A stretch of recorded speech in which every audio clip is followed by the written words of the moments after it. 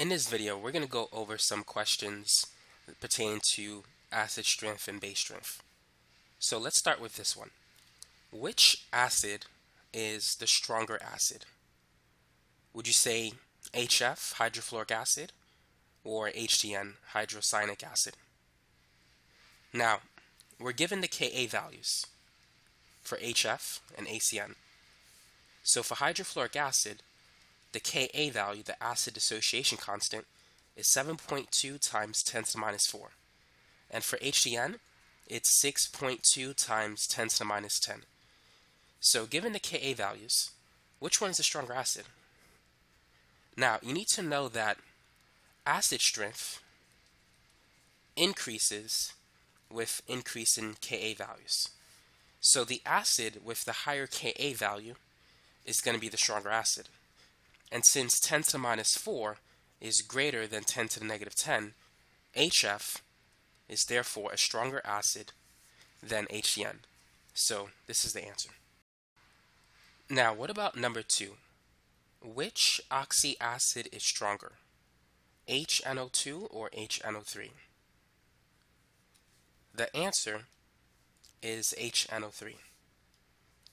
HNO3 is stronger than HNO2 it has a higher Ka value. Now, so you need to know this. For oxy acids, the acid with the greater number of oxygens is typically the stronger acid. So for example, HClO4 is a stronger acid than HClO3. And this is stronger than HClO2. And this is stronger than HClO. Now, HCl doesn't fit this trend. In fact, HCl is stronger than these three. So you can't put HCl in this trend. It doesn't have an oxygen. It's not considered to be an oxyacid. But for other oxyacids like H2SO4, this is a stronger acid than H2SO3. So the trend works for oxyacids only, those that contain oxygen in it. Now let's move on to our next problem. Number three, which base is stronger? Is it ammonia or methylamine? Ammonia is NH3, methylamine is CH3, NH2. Now we're given the Kb values of these two bases. This is the base dissociation constant. And so the Kb for ammonia is 1.8 times 10 to the minus 5. And the Kb for methylamine is 4.4 times 10 to the minus 5. So, given this information, which base is stronger?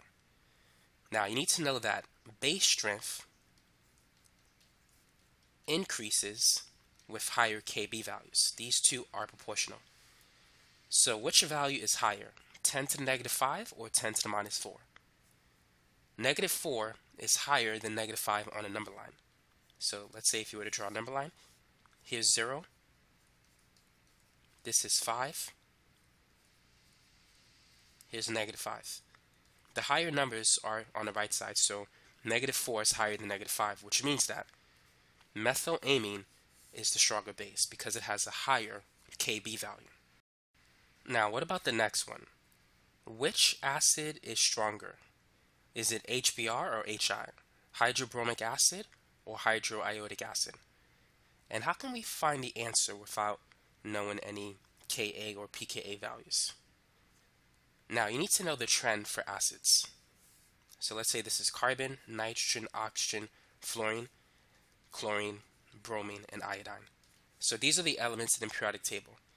Acid strength increases as you go to the right and as you go down for acids if if hydrogen is directly attached to these elements. If it's not, then this trend may not apply.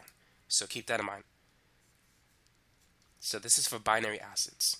So what this means is that HI is a stronger acid than HBr, which is stronger than HCl, and that's stronger than HF, and HF is stronger than water. Water is more acidic than ammonia, and ammonia is more acidic than methane.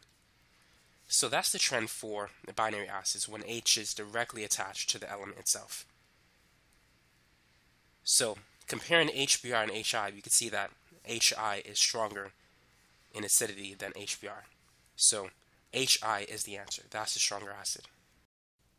Number five. which acid is stronger, HOCl or HOI? You can also write it as HClO, hypochlorous acid, versus HIO, hypoiodous acid. So which one is stronger? Now, recall the trend for binary acids, where we said that HI is a stronger acid than HBr, which is stronger than HCl, which is stronger than HF. So HI is more acidic than HCl. That's if hydrogen is directly attached to iodide and uh, chloride. But in this case, it's actually attached to the oxygen in these elements. So that trend does not apply. So it turns out for oxyacids, acid strength increases due to increase in electronegativity. So the trend is opposite for this example. So what this means is that HClO is the stronger acid than HIO because chlorine is more electronegative than iodine. So this is the answer. So make sure you understand this. For oxyacids, electronegativity is the main reason why HClO is more acidic than HIO.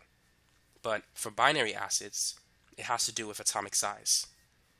The iodide ion is bigger than the chloride ion, and so the iodine ion is more stable. It can stabilize the negative charge better than the chloride ion can. And so it doesn't really need the hydrogen to be attached to it. So it's more easier to ionize. So just to make sure you got that, which acid is stronger? HBr or HI? And what about HBRO versus HIO? Which acid is stronger? So for binary acids, the ones that don't have oxygen, acid strength increases due to increase in size. So HI is a stronger acid than HBr. Now for oxyacids, the element that is more electronegative is going to be a, the one that's associated with the stronger acid. So bromine is more electronegative than iodine. So HBRO is a stronger acid than HIO. Number six, which of the following is considered to be a weak acid? Is it HCl, H2SO4, HNO3, HF, or HClO4? Now, it pays to know the six common strong acids, and these are HI, HBr, HCl, H2SO4, HNO3, and HClO4. So, if you're trying to identify if an acid is strong or weak, if it's not one of these six acids, it's safe to say that what you're dealing with is a weak acid. Now, it's not a 100% guarantee, but it's a, a good rule of thumb. So HCl is a strong acid, H2SO4 is a strong acid, HNO3 is a strong acid, and perchloric acid is also strong. So the weak acid is HF, hydrofluoric acid, and that's the answer.